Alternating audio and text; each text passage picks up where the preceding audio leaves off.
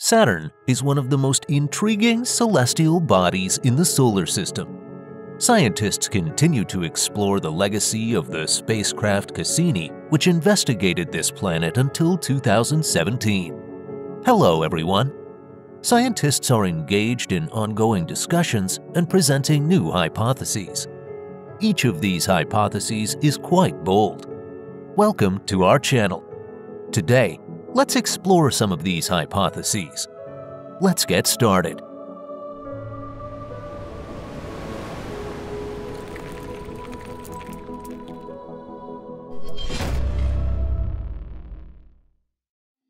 The Lord of the Rings Saturn is the most easily identifiable planet in the solar system. Of course, it's all thanks to the rings. Just by looking at the rings, even elementary school students can say, oh, that's Saturn.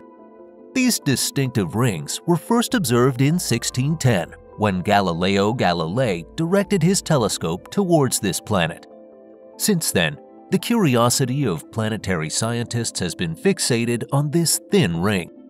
Numerous icy rocks orbiting the planet form layers ranging from 5 to 30 meters in thickness, and due to their high reflectivity, they are clearly visible from Earth. But where did they come from? Since the launch of Voyager 2, astronomers have considered the hypothesis that these rings were born from the destruction of a moon. The Cassini mission rather than determining the origin of the rings, provided clues about their age. In the final stage of this project, the grand finale, Cassini flew 22 orbits between the planet and the inner rings, collecting data on this unusual region. In 2023, a paper was published in the journal Science Advances.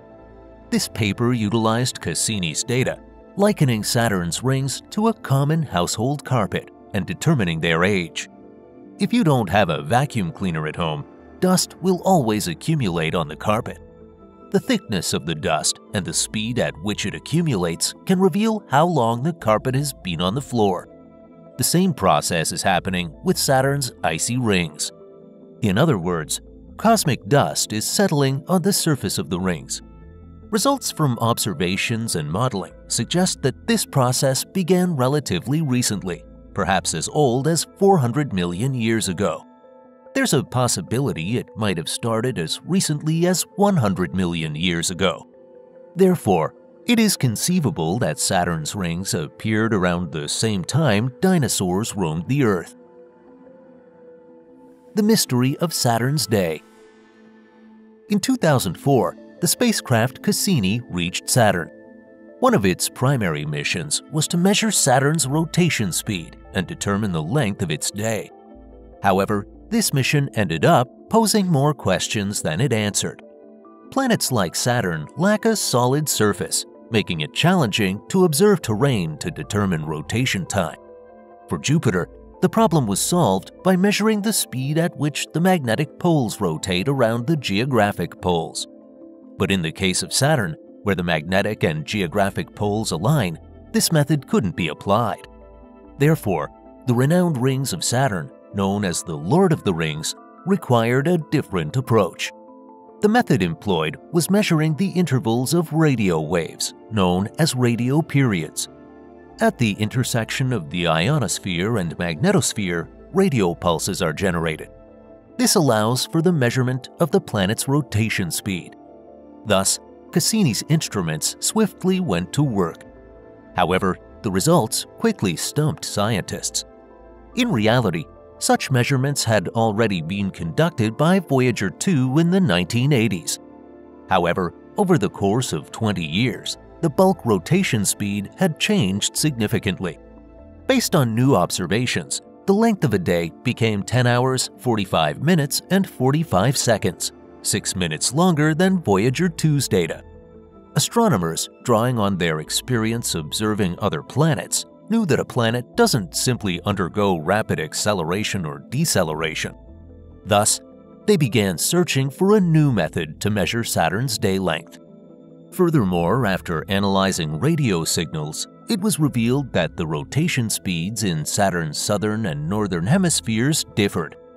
This complicated matters further. Therefore, a more reliable method to ascertain the day length needed to be found. In 2019, new data was released, stating a day length of 10 hours, 33 minutes, and 38 seconds. Compared to the previous measurement, there was once again a difference of 12 minutes. This time, researchers used Cassini's data, but focused not on Saturn itself, but on the oscillations of Saturn's rings caused by the planet's powerful gravitational pull. The result was the realization that these rings function as seismic detectors. Through the rings, a map of the planet's internal structure could be created, simultaneously allowing for the calculation of its rotation period. Additionally, this research revealed that Saturn's interior differs from previous conceptions. The core of Saturn occupies nearly 60% of Saturn's diameter. Composed of rock, ice, and gas, the core shows no signs of strong convection. This challenges theories regarding the origin of Saturn's magnetosphere. Could it be that within the core, metallic hydrogen generating Saturn's magnetic field is still welling up? The answer remains unknown. Secrets hidden within Saturn.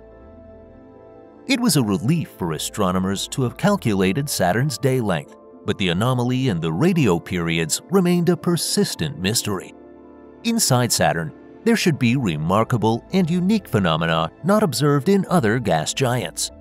This extends to differences in the auroras as well. On Earth, Auroras are caused by solar wind particles flying along magnetic field lines.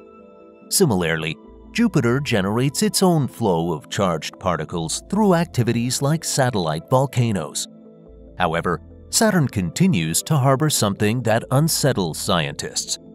In 2022, a hypothesis was announced regarding what might be amiss within Saturn. To explore this hypothesis, Researchers spent a month five years ago using the Keck Observatory spectrometer in Hawaii to measure the traces of infrared radiation in the upper atmosphere. They then applied this data to create a map of Saturn's ionosphere. The results revealed that a majority of the auroras are generated by the movement of Saturn's atmosphere itself. The atmosphere accelerates the flow of ion particles, transforming them into an ion wind winds reaching speeds of 3 meters per second, absorbing energy from the overheated thermosphere, not only influence the strength and formation of auroras, but also occur directly above Saturn's enigmatic hexagon. Earlier, I mentioned the unsuccessful attempt to measure the rotation time using radio pulses. The cause of this failure was precisely this atmospheric variability. Thus, with a single study, two of Saturn's mysteries were simultaneously unraveled. However, mysteries still linger within Saturn. What's happening in Saturn's thermosphere? Earth's thermosphere is the region where the majority of heat from the sun is absorbed. Temperatures here range from 200 Kelvin to 2000 Kelvin. According to data from Cassini, Saturn's thermosphere temperature rises from 370 Kelvin at the equator to 590 Kelvin at the poles. Quite high temperatures indeed. However, considering that the sixth planet in our solar system is significantly farther from the Sun, why is it so warm? If sunlight isn't heating Saturn's atmosphere, what is responsible for the warmth? Several hypotheses have been proposed. A 2023 study suggests that the heating of Saturn's thermosphere is caused by its rings. In other words, material from the rings falls onto Saturn's surface, warming the upper atmosphere. Cassini revealed that the rings are losing up to 2,800 kilograms of material per second. This is enough to fill an Olympic-sized swimming pool in just one second. If this data is correct, and at this rate of absorbing ice particles, Saturn's rings could be sustained for another 300 million years. However, scientists are not entirely confident in the accuracy of this data. In 2023, they launched a project to investigate ice precipitation on Saturn using the James Webb Space Telescope and the Keck Observatory's observational tools. It's possible that the rate at which gravity carves away the rings is faster than previously assumed, but that remains uncertain. Saturn drawing life from Enceladus. In June 2023, the James Webb Space Telescope revealed Saturn veiled in a new mysterious light. The rings of Saturn were emitting an ominous bright glow. This image was captured in infrared. According to scientists, this method allows them to observe the darker aspects of a planet's activities. At a wavelength of 3.23 micrometers, the surface of Saturn appears very dim. Consequently, astronomers find it easier to identify faint satellites and observe celestial bodies like Enceladus, which may harbor the potential for life. Enceladus completes one orbit around Saturn in just 33 hours, supplying water to Saturn's rings through plumes. By observing these plumes, astronomers can better investigate signs of life that may exist on this moon. However, on the flip side, as Enceladus loses water, it loses the potential to become humanity's second home. Quite a daunting prospect. What do you think about the chance of relocating to Enceladus? Share your thoughts in the comments. That concludes today's video. Thank you all for watching. I hope you found this video interesting. If you enjoyed it, I would appreciate a thumbs up and a repost on social media. Your actions greatly contribute to the growth of this channel. Thank you for your support. Farewell for now. Until next time, goodbye everyone.